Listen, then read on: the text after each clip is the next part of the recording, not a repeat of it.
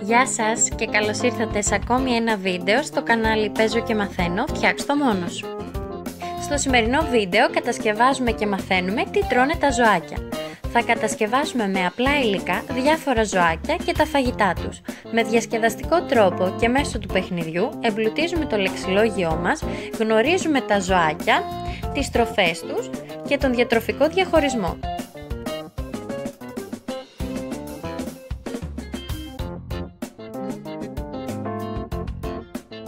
Πάμε να δούμε τα υλικά που θα χρησιμοποιήσουμε. Θα χρειαστούμε χάρτινα πιατάκια, πολύχρωμα χαρτόνια, μαρκαδόρους, ξυλάκια χειροτεχνίας, ψαλίδι μολύβι και μία κόλλα. Ας ξεκινήσουμε. Θα πάρουμε τα χάρτινα πιατάκια και σε κάθε πιατάκι θα ζωγραφίσουμε από ένα ζωάκι. Μπορείτε να ζωγραφίσετε όσα και όποια ζωάκια θέλετε. Αρχικά θα σχεδιάσω με ένα μολύβι για να μπορώ να διορθώσω τα λάθη και στη συνέχεια θα χρησιμοποιήσω τους μαρκαδόρους για να τα χρωματίσω.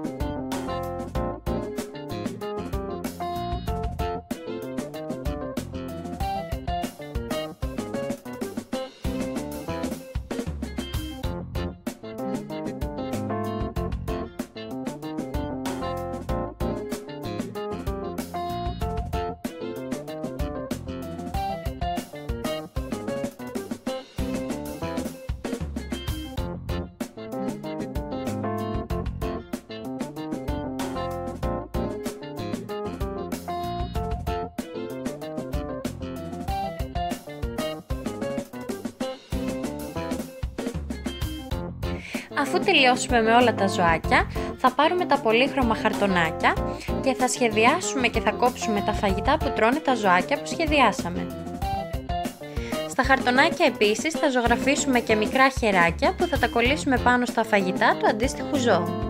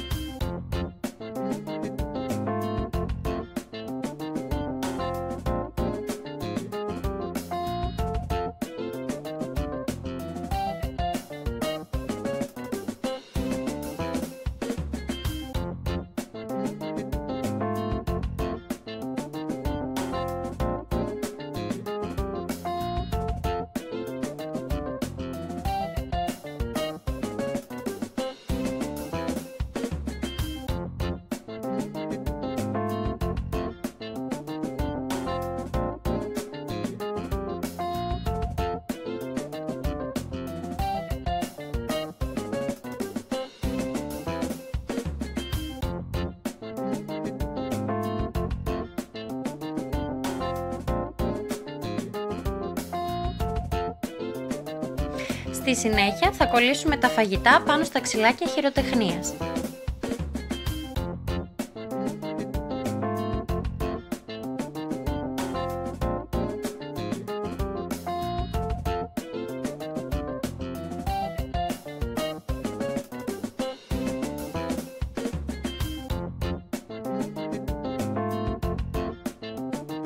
Τέλος, με το ψαλίδι και με μεγάλη προσοχή θα ανοίξουμε μία γραμμή για να μπορεί να μπει μέσα το ξυλάκι.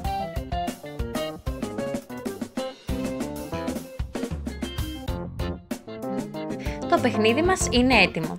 Αρχικά μπορούμε να ζητήσουμε από το παιδί να αντιστοιχίσει τις τροφές με τα ζώα και στη συνέχεια αφού τα τοποθετήσει σωστά μπορούμε να χωρίσουμε τα ζωάκια σε ποιες διατροφικές ομάδες ανήκουν, αν είναι δηλαδή φυτοφάγα, πανφάγα ή σαρκοφάγα.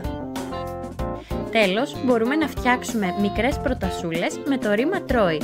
Για παράδειγμα, η μαϊμού τρώει μπανάνα και να ζητήσουμε από το παιδί να κάνει το ίδιο και με τα υπόλοιπα ζωάκια. Τα παιδιά μέσω αυτής της δραστηριότητας έρχονται σε επαφή με τη χρήση μικρών προτάσεων και αναπτύσσουν το λεξιλόγιο και την έκφραση.